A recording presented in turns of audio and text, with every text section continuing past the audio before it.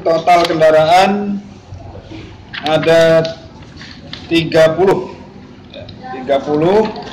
Nah, nanti rekan-rekan wartawan, terutama yang cetak, tolong diberitakan ya, di hariannya masing-masing uh, kendaraan tersebut. Nanti masyarakat yang merasa kehilangan, silahkan cek ke Satreskrim Polresta. Nanti apabila membawa surat-surat kendaraan yang hilang dan cocok dengan yang ada di kami, uh, kami akan mengembalikan kendaraan tersebut ya, dengan status uh, titip rawat. Nanti apabila persidangan akan dipakai sebagai barang bukti. Rata-rata berapa mas harga mas? jualnya? 4 juta. Ada sesuai pesanan?